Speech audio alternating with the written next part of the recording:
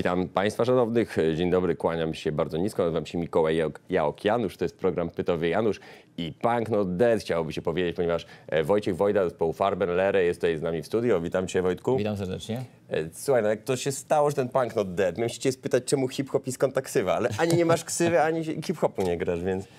Znaczy, wiesz co, jeżeli chodzi o punk rock, y, to my w zasadzie korzeniujemy się w tej muzyce, to znaczy stąd się wywodzimy w jakimś tam sto, stopniu. Słuchaliśmy tego. Mm, Ja chodziłem na koncerty punk rockowe w latach 80. No jak zakładałem zespół, to jakby naturalnie było punk rockowo. A czy punk's not dead, czy nie, to jest już kwestia e, No tak, no drugorzędna. że bo to, tak, wiadomo, że to pewien, Dzisiaj się trochę czasy zmieniły. Trzeba, jednak, trzeba jednak pamiętać, że czas idzie do przodu i nie lubi próżni. Tak, w ogóle, wiesz co, ja zauważyłem na przykład, że to jest bardzo charakterystyczne, że mm, ten punk bardzo się jakoś, znaczy, jak słuchałem wiesz, muzyki punkowej, mocno trochę punkowałem troszkę z młodszych lat i w ogóle to było jakieś oderwane od polityki zupełnie. A teraz to jakoś bardzo tak te ruchy tak się, się przy, zaczęły przyklejać do różnych organizacji. Czy to tak na, na całym świecie są? To znaczy, je- co, uważasz? ja, ja powiem ci tak, że no nie do końca się zgodzę z tym, że on był alienowany od, od e, polityki, zwłaszcza zespoły e, punk rockowe. No gdyby nie... Były w mocnej kontrze do na pewno... No właśnie, gdyby No. nie takie kapele jak Deserter, e, myślę, Moskwa, prowokacja w tamtych czasach, to też inaczej by wyglądała polska muzyka, no byłaby bardziej obciachowa. Myślę, że te zespoły jednak trzymały fason e, odpowiedniego zachowania w latach 80. i dzisiaj poniekąd, e, że historia zatacza koło, że wracamy do punktu wyjścia, można tak powiedzieć, no to ja, ja nie, nie uważam w tym nic złego, jeżeli chodzi o przekaz punk rockowy. Jeżeli, jeżeli chodzi o kapele brytyjskie lat 70., bo też trochę w tym siedziałem, No, no Clash, no, no to tak. to oni- właśnie, ale- to Clash bardzo dużo politykował i trzeba tutaj y, też to oddać. No, Pistolsi bardziej anarchizowali, w, przynajmniej w tekstach, natomiast y, The Clash i kilka walczących zespołów też tam się pojawiało y, w Stanach Zjednoczonych. No, może nie do końca walczące, ale jednak w dużym stopniu y, Jello Biafra i Dead Kennedys to, Dead też, raczej, Kennedys, tak, też, też raczej walczące klimaty. Także ja bym tutaj nie oddzielał tak punk rocka od polityki, a z drugiej strony bym też tak się nie wpychał w tą politykę, tak bym to powiedział. Znaczy, może bardziej tak, że mm, jeżeli Z boku nie można stać, jeżeli się źle, źle dzieje. Na tej zasadzie właśnie, że punk jest taki trochę, e, taki trochę, że jest zdecydowanie antyreżimowy, może w ten sposób, a niekoniecznie wspiera konkretne partie, kiedy panuje pluralizm polityczny. O właśnie, ja, Może chcia, tak ja, chciałem, ja chciałem to określić w taki sposób, bo ja często biorę udział w takich dyskusjach tego typu, dlaczego tak, a dlaczego nie inaczej, to ja powiem Ci tak, to, że się lubi siatkówkę, to nie znaczy, że się lubi koszykówkę, to, że jest się przeciw czemuś, to nie znaczy od razu, że jest się za kimś innym, wiesz, to, to że się nie lubi Barcelony, to wcale nie znaczy, że się lubi Real, a u nas w Polsce tak się przyjęło trochę, ja tak Musisz obserwuję, wybrać, tak, że musisz wybrać, że jak nie jesteś z tymi, z czarnymi, to jesteś z białymi, a to wcale nie do końca tak musi być. Ale wiesz, że oni na tym bar- najbardziej zyskują właśnie na takich podziałach ci, którzy mm, je tworzą. Znaczy, kiedyś było takie badanie, jeszcze to było za czasów, kiedy się uważało, że Tusk będzie ka- kontrkandydatem e, e, Kaczyńskiego w wyborach prezydenckich.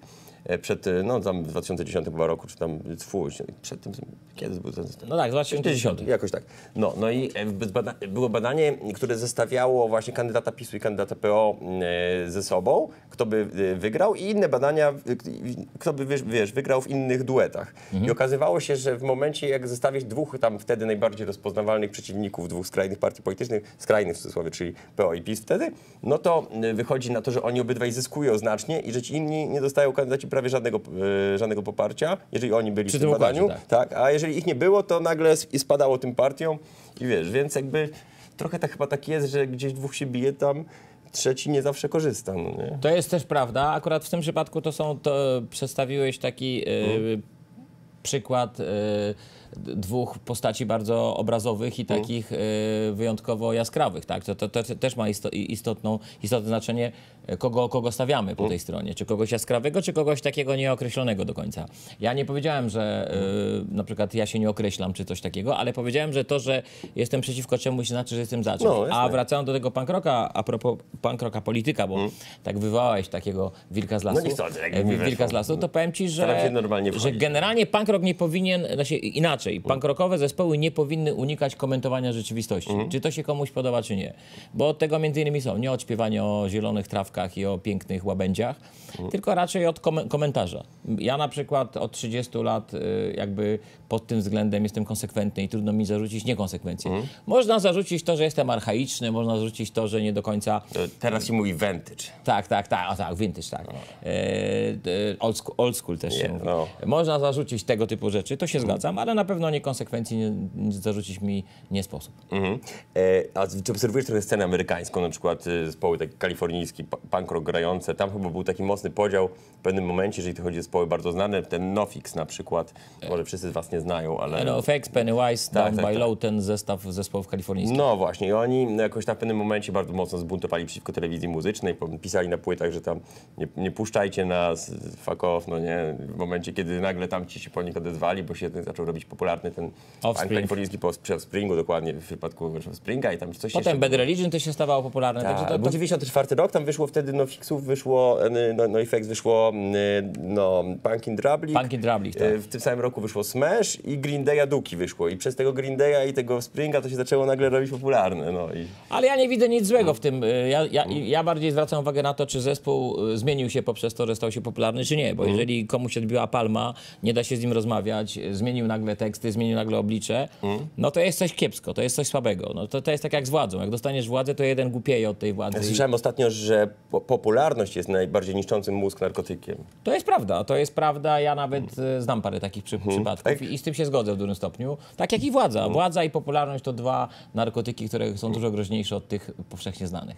Tu się akurat zgodzę w 100%. Tutaj y, właśnie mm, rozmawiałem jakiś wywiad z Licą, z Robertem Friedrichem, em, bardziej metalowe klimaty, albo Alcanoego. O, to właśnie, no właśnie, tu chciałem e, postponować, ale masz Tak, rację. i on powiedział, że popularność, władza i pieniądze to są, to jest dobry sługa, ale zły pan. Więc tak w No te- tak, filozoficznie, filozoficznie można, można no, tak to ująć. katolik, Tak. więc tak Można tak to ująć, tak jest. Zdecydowanie. E, słuchaj, a mm, czy chodzi o to, czy, czy to, bo moim zdaniem to się trochę zaczęło rozwarstwiać w tym momencie, jak te, mm, jakby, nie będę za bardzo męczył, bo ludzie pewnie nie do końca wiedzą, o czym mówię, ale e, w momencie, kiedy właśnie ten e, no, zaczął grać tam tak jak miało, powiedział tam to fuck dla MTV, a te Offspringi Green Day'e zaczęły bardziej iść w stronę taką, którą nawet no, później widzieliśmy jakieś tam e, emo, wiesz, takie, takie troszkę klimaty. Czy, czy, czy w, w takie zjawiska też widzisz w Polsce, że jedni się tam wypaczają przez ten, to, ten romans z komercją? Bo właśnie Farbenlery się udało chyba bardzo mocno pozostać takimi, jacy byli i w ogóle takim, taką opinią się cieszy ten zespół, jako taki true. To znaczy, czy, czy, to, przepraszam, czy to jakby popierasz tą tezę i czy widzisz też w Polsce takie podziały? Tak, widzę, widzę takie podziały. Widzę też e, chęć wpychania w podziały zespołów e, przez Oczywiście, różnego rodzaju środowiska. dziennikarzy, tak, tak, tak. Przez dziennikarzy, nie tylko przez śro- środowiska około punkrokowe. To tak, to widzę, że ci są sprzedani, ci są niesprzedani i tak dalej. Ja zawsze e, byłem sceptyczny wobec takich e, opinii, bo jak miałem okazję poznać bardzo popularnych muzyków z zespołu Dito Tenhosen, to śmiem twierdzić i wiem, co mówię, że są dużo bardziej skromni, dużo bardziej normalni, dużo bardziej mniej odpaleni, że tak powiem, w negatywnym tego słowa znaczeniu, niż wiele zespołów e, polskich, na przykład, które dużo mniej osiągnęły. Czyli t- co to pokazuje? Że, że sukces wcale nie musi, nie musi oznaczać spaczenia. I odwrotnie, brak sukcesu wcale nie musi oznaczać, że jesteś taki bardzo true, i że jesteś taki prawdziwy, bo pytanie jest, co by się stało, gdybyś go osiągnął. Nam kiedyś, e, pamiętam, pojawiały się takie opinie, takie zarzuty, że Farbener się pojawiło tu, czy pojawiło się tam, e, ale pierwsze pytanie się rodzi, czy ci, ci, co to mówili, mówię to o muzykach, czy oni kiedykolwiek dostali tego typu propozycje? No bo, właśnie, ja, jeśli- bo ja chciałbym wtedy No. zobaczyć, jakby zareagowali, czy by się zgodzili, czy nie i jakby się zachowali w, obliczu pewnego rodzaju An- sytuacji. Andrzej Grabowski kiedyś powiedział... e, Człowieka się poznaje po czynach, a nie po tym, co gada.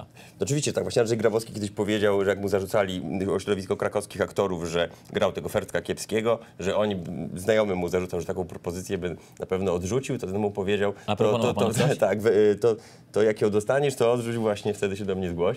Nie, bo to właśnie na tym polega, że łatwo, łatwo jest mówić, a trudno jest y, później, kiedy się już dostaje tę propozycję, to się zmienia oblicze. Tak jak pamiętam kilka zespołów y, tak zwanych y, tru niezależnych, które mówiły w dawnych czasach w wywiadach, bardzo często to, to czytałem. Nigdy nie będziemy brali kasy za granie, bo komercja nas nie interesuje, my jesteśmy niezależni, punk rockowi i tak dalej. Kiedy się okazało, że pewnego rodzaju popularność przyszła do tych zespołów, Nagle zmienili tony i mówili, no nie, jak pieniądze są potrzebne, warto zarobić. Czasy się, tak, tak. Czasy się zmieniają, zmienia się punkt widzenia, zmienia się punkt siedzenia. Wracamy za chwilę do naszej rozmowy.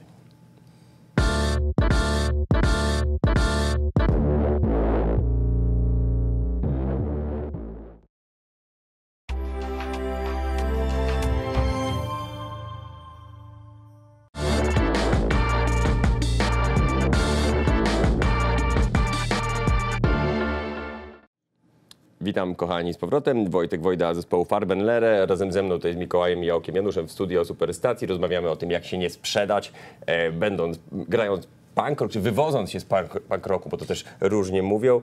I co to znaczy sprzedać się? Skończyliśmy na dezerterze i była taka akcja, przecież jak oni wydali tą płytę, pierwszą oficjalną chyba, gdzie było e, spytaj policjanta, milicjanta Tak, w serii milicjantów. wtedy milicjanta, e, no to też część osób na początku się oburzyła, że jak to wydali, wiesz, oficjalnie płytę. W tą presie singla, bo to był tak, w tą presie, no, no, no. A potem w ogóle tak, na, taka dygresja z tej płyty z tamtego okresu, ja od razu słyszę, która jest w tą presie wydana, bo słuchaj, ta sama perkusja. Tak, tak, tak, tak, tak. No, i- Studio jest 4 wtedy. A, no nie wiedziałem, nie zapamiętam.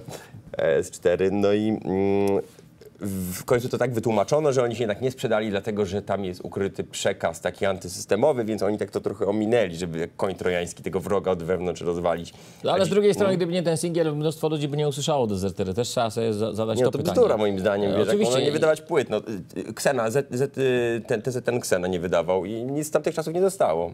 No to wiele takich zespołów Mm. można pokazać. E, e, Stare WC, stara Siekiera, e, czy stara Moskwa i prowokacja. Poza Mm. No, wspomnieniami, Siekiera to- poza wspomnieniami z tego nie zostało praktycznie. No, Siekiery tam, ostatnio Gdzieś tam tam- jakieś po- pojedyncze No, nagrania tak. są. Paweł, tam Sławek Pakos wydał parę nagrań, ale no to słabo brzmi, to nie jest dobrze nagrane. Dlatego ja nie widzę nic złego w dobrym nagrywaniu muzyki, bo to zostaje na lata. To, to trzeba sobie zdawać sprawę. Jak ja wchodzę do studia w tej chwili, mam taką świadomość i mam tego typu e, taką, może nie wewnętrzną blokadę, ale taką, takie poczucie teg, e, tego, że robię coś, co za 20-30 lat powinno się bronić, więc e, jak się mam już pod tym podpisać, to dobrze, że to, żeby to brzmiało, żeby to jakoś dobrze e, funkcjonowało. I to ja tutaj akurat w dezerterach e, popieram za to, co zrobili w Nie tamtych no, ja też zdecydowanie, tylko bardziej chodzi mi też, wiesz, pojawiały się takie różne absurdalne, mm, lamerskie recen- mm, komentarze dotyczące tego, kto na przykład, dla kogo co jest sprzedaniem, myślę, dla kogo co jest niegraniem właśnie na przykład punku i takie... e, Tylko tak wiesz, pytanie jest też, kto to mówi, wiesz, bo taki, właśnie, taki był kiedyś tego- filmik, kto to mówi. Bardzo No, no, często e, ro, mówią to albo inni muzycy, którym Mhm. nie wyszło, jedynym sukcesem jest to, że istnieją. Mówią to ich e, dziewczyny, ich kuzyni, ich koledzy, koledzy, koleżanki, czyli ich środowisko. Mhm. Albo mówią to dziennikarze, którzy na przykład, znam paru takich, którzy Mhm. są niespełnionymi muzykami, gdzieś tam próbowali grać, nie wyszło. Każdy I dziennikarz teraz- muzyczny jest niespełniony muzyką. nie, i teraz, i teraz jak nie wyszło, to teraz na przykład wychodzi y, już jako dziennikarz No. i ma pełne prawo krytykować, bo jemu nie wyszło, a komuś tam wyszło. No. Więc wiesz, to, to ja też biorę bardzo, bardzo często poprawkę na to, kto to mówi. No kojarzę takiego jednego, co nie wypada nim źle mówić, bo podobno zmarł się źle nie mówi. E, Tak, Z rybą w e, nazwisku. Dokładnie, do, do, tak, ja też, ja, też jeszcze, ja, ja też jeszcze innego bez ryby w nazwisku i też niestety No. o zmarłych się źle nie mówi, a to też podobna historia. Widzisz, a... Mm, może to jakoś... Nie, nie będę... Tu nie chodzi o to, żeby, tu nie chodzi o to, żeby krytykować, nie Mm. chodzi o to krytykować, tylko że trzeba też pamiętać, czy czasami y, ja, ja lubię bardzo krytykę, która ma y, czyste źródła. To Mm. znaczy, jeżeli ktoś krytykuje mnie na przykład, że kiepsko śpiewam, okej. Jeżeli krytykuje, że nagraliśmy słabą płytę, okej. Jeżeli ktoś To by powie, że nagraliśmy słaby koncert... tak, że to dobrze śpiewać. tak. y, Nie, y, zagramy słaby koncert, ktoś mi to powie, okej. Mhm. Jeżeli rzeczywiście to był słaby koncert. Natomiast jeżeli ja e, czasami widzę wśród tych krytyków inne źródła krytyki, a nie Mhm. czyste, to to już mnie nie bardzo przekonuje. To tak było w piosence Rape Me Nirwany, My Favorite Things I Saw, czyli naszego jakby mm, z wiarygodnego źródła i wewnętrznego wiem, że... Tak, tak, tak, tak. Tak, dokładnie. E, słuchaj, ale bardziej chodzi mi też, że, to czasy zmieniły, zmieniły się też sposoby, w jakich się komunikuje taką krytykę i teraz na przykład e, mamy internet i każdy może napisać dowolne oszczerstwo anonimowo pod waszym klipem. Właśnie anonimowo, tak. No właśnie, czy jakby uważasz, że te czasy jakoś wyjątkowo sprzyjają, mm, sprzyjają takiemu właśnie szerzeniu takiego złego języka nienawiści, czy raczej to po prostu są opinie, z którymi człowiek rozsądny nie powinien w ogóle e, tego czytać tego, wiesz, shitu i, i się tym e, zawracać sobie tym głowy. Wiesz, y, analogsi mają taką piosenkę, że niegrzeczny chłopiec y. A, no podwija spodnie tak, i tak, tak, dalej, i tak. dalej, a, a Ale gdy na trzeba głowie się, nie ma żadnych blizn, blizn bo bo domu trzeba, biegnie, gdy trzeba się bić, bić. tak. I to jest mniej więcej podobnie to jest z tym internetem. Mm. Wiesz, jak, jak e, przychodzi do konfrontacji bezpośredniej, to nie ma chętnych, Mm. żeby porozmawiać, podyskutować, a nawet czasami sobie e, dać po razie, tak, po męsku. Mm. E, ale w internecie jest to łatwiejsze, bo można po pierwsze pod e, pseudonimem, po drugie ten, tak, to ja się zgadzam, te czasy sprzyjają e, temu, że miernoty, które mają niewiele do powiedzenia, mogą, mogą się wypowiedzieć. Ale to bardzo dobrze przewrócić słowa, że nie można, bo ostat- ostatnio tak miałem... No, Bo ja się wypowiadam poprzez muzykę. Jak się, na przykład jak kogoś krytykuję, zawsze pod nazwiskiem Ale swoim. spróbuj komuś dać w ryj teraz. Zobaczcie, ja ostatnio dałem jednemu w dziób, bo był taki już przeginał i, i to dopiero się podniosło, że w ogóle skandal i ten, że w ogóle dziennikarz brutal. To wiesz co, to wiesz co, znaczy ja generalnie wychodzę, ja, ja się y, urodziłem w takich czasach, kiedy y, dostać w łeb albo dać komuś w łeb to nie było nic złego, pod No, warunkiem, pod zasłużył. warunkiem, że zasłużył, tak. Nie, że, jak Nie, ja, jak, jak, apelujemy, że przemoc jest zła, szczególnie jeżeli nie masz 18 lat, wtedy jest najgorsza. A jeżeli już musisz, to idź do klubu i ale jak boks. mawiał Zdzichu Maklakiewicz, są takie rzeczy, za które leje się w mordę. No- no właśnie, Są takie rzeczy. no właśnie, Jak dokładnie siostra tak. nie wróci do 23, to są takie rzeczy, za które się leje w mordę. No, to mniej więcej e, z filmu Dzięcioł. Więc, więc wiesz, ja, ja sądzę, że czasy niestety sprzyjają temu. Mm. To masz rację. Sprzyjają hejtowi, i sprzyjają, ale sprzyjają temu słabemu hejtowi, bo dla mnie, dla mnie to jest słaby hejt, jeżeli ktoś y, struga bohatera Mm. Herosa w internecie, a a biegnie do domu, gdy trzeba Się naprawdę walczyć. tak Nie, jest, gdy trzeba walczyć. bronić. Gdy trzeba walczyć. Walczyć. No tak, no, no bo to też się różni. No. Dzisiejsze czasy też wymagają walki, a wielu chętnych nie ma. A taką, już, taką, taką lekką agitację jednak polityczną słyszę w twoim nie, głosie. nie, czy nie, to nie jest polity- nie, nie, to nie jest polity- a trzeba walczyć o swoje. O tak. Mm. Nie, no to na pewno, no ale to... Ja sam- nawet nie mówię, nie, ja nie, nie mówię walczyć z politykami, walczyć o swoje. No tak, no to Na nie przykład trzeba. e, Owsiak teraz walczy o swoje, mówię to akurat w kontekście jutrzejszej akcji, tak? No, a nie też No, trzeba tak, walczyć, trzeba walczyć. powiedzą, no, że wiesz, że, że odwrotnie. No to może tak być, każdy ma prawo do własnego zdania. Ja na przykład e, popieram WOŚP i uważam, no tak, ale czasy są takie, że nawet on musi walczyć o swoje, o tym mówię. Dzisiaj trzeba walczyć o wszystko. Ja muszę walczyć o to, muzyk walczy o widza, Także to nie jest agitacja polityczna, to jest agitacja do tego, że trzeba walczyć. A potem, wiesz, e, ktoś kiedyś powiedział, nawet chyba Piłsudski to powiedział, że e, jak człowiek młody się nie buntuje za młodu, to w, dorosłym wieku będzie, i tutaj może nie powiem kim, ale miał słowo na S, takie dość popularne znane. Ja to też uważam. Ja namawiam młodych ludzi do buntu. To szło... Ale nie do buntu politycznego. Ja namawiam młodych ludzi do buntu. Buntujcie się. Kto nie był socjalistą za młodu, ten na starość będzie draniem. Też w takiej wersji to To funkcjonuje. takie soft. Taki soft, tak, dokładnie. Ja mówię o tej mniej soft. Ja wychodzę z założenia, ja właśnie dzięki temu być może, że za młody... cytatów Piłsudskiego jest taka hardkorowa. No, no. Wiesz co, ja się dzisiaj jakoś specjalnie nie buntuję, to jest No. druga sprawa, tak? Ja już jestem, y, mam taki, y, takie doświadczenie życiowe i taki bagaż y, doświadczeń życiowych, Mm. że już nie muszę się buntować, ale ja apeluję do młodych ludzi o bunt. no, Może nie bunt dla buntu, ale bunt. O, o, o, dobre, o dobrą sprawę zawsze warto, warto walczyć. I e, to, to jest na pewno wciąż żywe w naszej muzyce, ale muzyka to oczywiście nie tylko ten przekaz, który płynie e, z tekstów, tylko, no, oczywiście, tylko też to, jak brzmicie. I tutaj, e, co byś powiedział, jak się zmieniło przez te lata wasze brzmienie i czy bardziej wynika one po prostu ze zdobyczy techniki, czy właśnie jesteście zespołem, który bardziej szuka takich starszych jakichś sprzętów lampowych, wiesz, wzmacniaczy, takich To znaczy, klasycznych. to, to znaczy, ja w ogóle na twoje pytanie odpowiem dwutorowo, Mhm. bo ty mówisz, że zmieniło się brzmienie. No nie, nie tylko brzmienie, zmieniło się też poniekąd przekaz. Y, Ten Mhm. przekaz się zmienił taki, że y, właśnie a propos tego buntu chciałem nawiązać, że jak zespół Farbenere zaczynał, jak ja miałem 20 lat wtedy, kiedy zaczynaliśmy, w 86 roku, to y, to był głównie przekaz na nie. Mhm. To był właśnie ten bunt. No bunt jest na nie. Jestem przeciwko, przeciwko, przeciwko, przeciwko, kontra, kontra. Mhm. Natomiast z czasem to się zaczęło zmieniać i, i był taki okres, że byliśmy trochę na nie, a trochę na tak. Mhm. Czyli dostrzegaliśmy rzeczy pozytywne w tym życiu. A teraz nawet powiedziałbym, że bardziej yy, w ostatnich latach wydawaliśmy płytę bardziej na tak niż na nie. Mhm. Jednak człowiek y, powinien y, z, z, szukać tego, co w życiu jest na tak. A jeżeli chodzi o brzmienie z kolei, ja nie należę do jakichś y, konserwatystów y, brzmieniowych, że będę teraz właśnie szukał jakichś wzmacniaczy sprzed 30-40 lat, bo to fajne, bo to Mm. Kiedy je oldschoolowe, kupowano, one były nowe. Tak, bo to vintage'owe. No to wiesz, to dzisiaj Vermony są e, takim, e, takim powiedziałbym, e, emploi e, bardzo takim oldschoolowym, tak? A kiedyś to był obciach, przypał, pamiętam te nerdowskie wzmacniacze Vermona.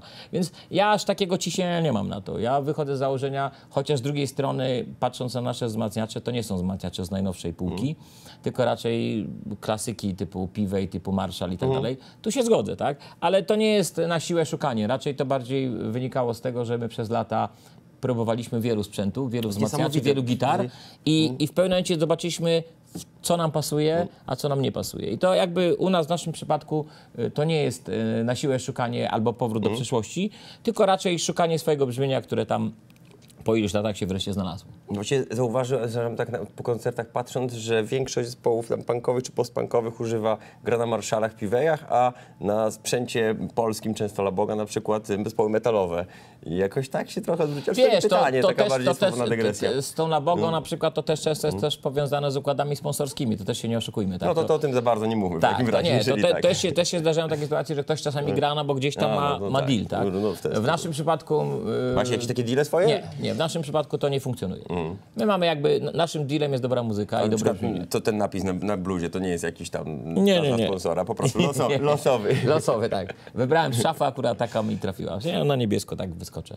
Słuchaj, zespół Farbenler grał przed wieloma mm, gwiazdami zagranicznymi. Jakby z jaki występ najlepiej wspominasz z jakąś e, taką wi- gwiazdą międzynarodowego formatu i dlaczego? O, to byś mnie zażył, ale taki, ja bym wymienił trzy takie koncerty, bo każdy z nich był inny.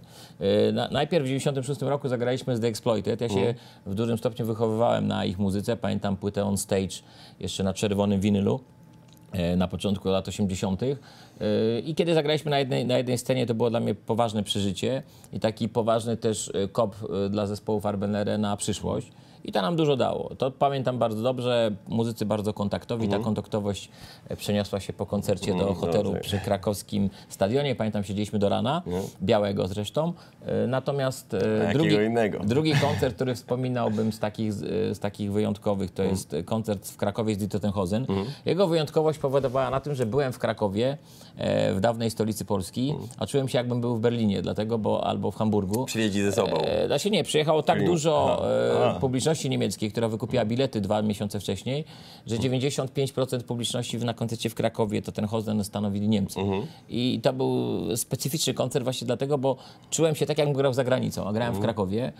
A z drugiej strony kolesie z Tottenhausen to nasi y, bardzo dobrzy y, znajomi, znamy się już kilkakrotnie, graliśmy razem na jednej scenie i poza sceną, w związku z powyższym nic złego o nich nie powiem, a same superlatywy. No i trzecie przeżycie takie dla nas istotne, dlatego, bo przez wiele lat wymienialiśmy w gronie swoich ulubionych zespołów e, i ja i mój brat Konrad e, kapelę New Model Army. Mm, No i we wrześniu spełniła się jedna e, nasza e, taka przygoda pozytywna. do niej. Marzenie, że zagraliśmy razem z nimi w Warszawie na koncercie w Proximie z New Model Army, to było dla nas coś. I mimo, że, e, mimo, że to był taki koncert dużo mniejszy niż te poprzednie wymienione, to może dla nas tych, tych był właśnie tym najważniejszym. Ja ci wkręciłem w modelarni w ogóle z zupełnie innej mańki, bo przez Sepulturę, która robiła cover piosenki Hunt, Hunt, The tak, Hunt. tak, no, tak, tak, tak. Więc, ale... A ja z kolei muszę się przyznać, przez bardzo dawne czasy, bo w 1988 roku, kiedy Niemodlarem przyjechali na koncert do Polski, grali na imprezie Marchewka, to ja na tej imprezie tam akurat byłem i tam ich poznałem w hali Gwardii. Mhm. Ale z jakim muzykiem najbardziej zespołem chciałbyś zagrać, czy nie zgrać? Z Rensidem? No wiesz, no, y, ja nigdy nie ukrywałem tego, że najbardziej chciałem zagrać Sex Pistols, i No. z tego, co- ale z tego co się orientuję, to cały czas jest możliwe, bo oni tam no. co jakiś czas się reaktywują No tak. i to nawet w tym oryginalnym składzie, co prawda bez Wiszusa, ale No właśnie, wielu ludzi tego nie wie wcale, że tak, że, Wisz jest tak naprawdę... No, Nie był w no, oryginalnym No składzie. nie był w oryginalnym składzie, nagrywał płyty, no. Dokładnie, no to też. E, Więc, więc druga sprawa, e, to taki zespół Sex, Sex Pistols, The Clash to już jest nierealne, Ramones jest też nierealne. Z tych istniejących, no może i Rancid to byłby dobry kierunek, żeby z nimi wspólnie zagrać. To, to tutaj chyba dobrze trafiłeś. A e, czy, czy, czy planujesz jakby... No Green Day też myślę, że to też No jest tak, zespół, no oni tak troszkę, no, ale no to kwestia chyba, nie wiem. No, Ale czy to- koncertowo są, w, Tak? są wybitni, moim byłeś- zdaniem. byłeś tak? M, Tak, można, można dyskutować na temat ich e, postawy, można dyskutować na temat może i tekstów, Mo- może i tam no tak, e, tego, no, że się no, malują no, i tak dalej, i że są tacy bardzo popularni, na, nawet popowi No, momentami. no, to- to nie, to można, przesady, no można, można dyskutować, natomiast e, koncertowo są moim zdaniem ciężcy do przebicia. To pa- pamiętam właśnie, że jak taka jak kultura, czy tam moda na black metal wchodziła, to w pewnym momencie i tam to było bardzo mocno tak zrobione, że jeżeli jakiś zespół nie był znany, to, to był fajny, wtedy był cool, prawda? I to aż do jakiegoś absurdu doszło, że naprawdę te fatalne zespoły, albo dopiero co założone, były tylko No ja, właśnie, ja właśnie takie zdanie kiedyś powiedziałem o Green Dayu, że ja pamiętam tą kapelę, jak przyjeżdżali do Polski, do Białegostoku czy do Bydgoszczy i grali koncerty dla 80 osób Mhm. w klubach e, i potem oni, oni personalnie się jakoś specjalnie zmienili. No to nie. nie. jest do końca ich wina, że się stali popularni. Bo jak grasz fajnie i się stajesz popularny, to co? To nagle masz to odrzucić... polityka to, bardziej, nie, no. to nagle masz odrzucić tą popularność powiedzieć, nie, ja nie chcę być popularny, bo dalej chcę grać dla pięciu osób. Osób. Prawda jest taka, że obłudny jest ten muzyk, który powie, że chce grać dla pięciu osób. Każdy chce grać dla jak największej ilości ludzi, która go zrozumie i która poczuje to, co on czuje i to, co chce im przekazać. I ja też bym chciał. Ja na przykład jak jest na koncercie 200 osób i mnie zapytasz, czy chciałbym, żeby było 500, powiem ci pewnie, żebym chciał. A jak zapytasz, czy powiesz, czy chciałbym, żeby było 5000, też bym chciał. Każdy, kto powie ci inaczej, jest, jest, jest moim zdaniem obłudny, jest hipokrytą, bo każdy tak naprawdę by chciał, żeby słuchało go jak najwięcej osób. Pytanie jest tylko takie, czy mają być to dziewczynki w różowych spódniczkach i faceci, e, faceci e, w fioletowych spodniach z GS-u, czy też mają być to goście, którzy kumają to, co ty chcesz im przekazać. To, to, jest, to jest pytanie. I to pytanie to równocześnie bardzo dobra puenta i podsumowanie naszej rozmowy. Bardzo dziękuję. Wojtek Wojda z zespołu był moim gościem. Super, że wpadłeś. Dzięki. Pozdrawiam, wszystkiego dobrego.